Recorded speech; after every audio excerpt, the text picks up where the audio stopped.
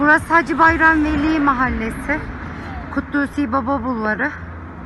Çocuğum okuldan geldi. Burada kaldırım yok. Burası yol. Ana cadde gayet de işlek bir cadde. Geç çocuğum şurada.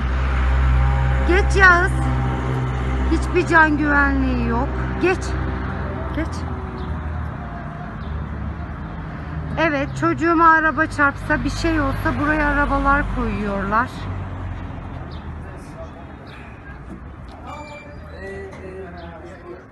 Evet.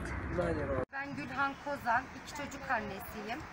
Oturduğum yer Hacı Bayram Veli Mahallesi Kutlusi Baba Bulvarı e, da ikamet ediyorum.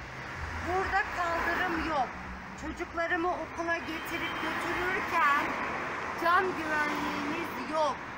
Ölümle dans ediyoruz. Her gün okula giderken ben bu iki çocuğumun hayatından endişe duyuyorum. Çünkü oraya araba